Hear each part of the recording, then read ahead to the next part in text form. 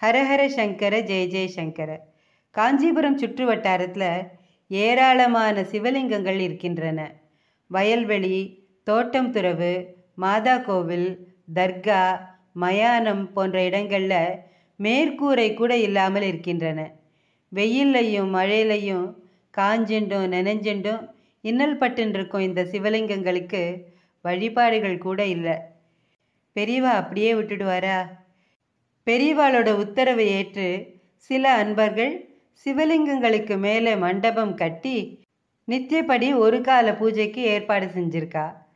மேற்கூரை கூட இல்லாத சுமார் பத்து பன்னெண்டு சிவலிங்கங்களுக்கு ஸ்ரீமடத்தோட சிஷ்யர்கள் ரெண்டு பேர் தினமும் ஸ்ரீமடம் வண்டியில் போய் அபிஷேகம் நெய்வேத்தியம் பண்ணிட்டு வந்தா. எல்லா பூஜைகளையும் முடிச்சுட்டு ஸ்ரீமடத்துக்கு திரும்பி வந்து பெரியவாளுக்கு பிரசாதம் கொடுப்பா. இந்த சிஷ்யர்கள் பூஜை செய்கிற லிங்கங்களில் ரெண்டு மூர்த்திகள் மயான எல்லைக்குள்ளே இருந்தன.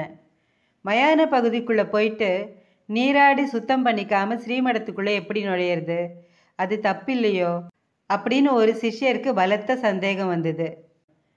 ரெண்டாவது சிஷ்யனுக்கு அந்த எண்ணமே இல்லை. இன்னொரு சிஷ்யர் சொன்னார் நாம் மயானத்துக்கு அங்கே நடக்கிற சடங்கில் பங்கெடுத்துக்கிறதுக்காக போகலை. சிவபூஜை பண்ணுறதுக்காக தான் போகிறோம் சிவபூஜை பண்ணிட்டு உடனே ஸ்நானம் பண்ணுறது உச்சிதம் இல்லை. நாம் சிவபூஜை பண்ணுறதுக்காக போகிற காரணத்தினால நமக்கு மடிக்குறைவும் கிடையாதுன்னர். ரெண்டு பேருக்கு வாக்குவாதம் முத்தி போய் கடைசியில் ஸ்ரீமடத்தோட உச்ச நீதிமன்றத்துக்கு போச்சு இந்த வழக்கு. ரெண்டு தரப்பு வாதங்களையும் கேட்டார் பெரியவா. முடிவாக தீர்ப்ப சொன்னார்.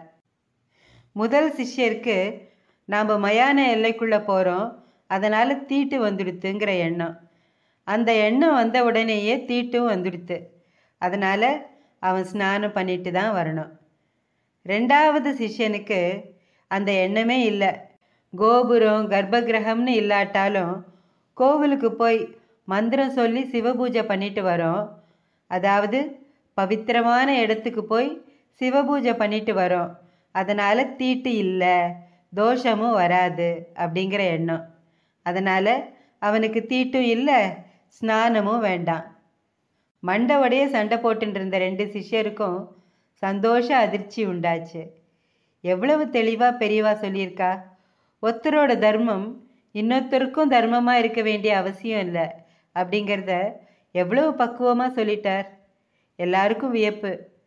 பக்குவமான ஆத்மாவோட தீர்ப்பும் பக்குவமாக தானே இருக்க முடியும். மகா பெரியவா அருள்வாக்கு.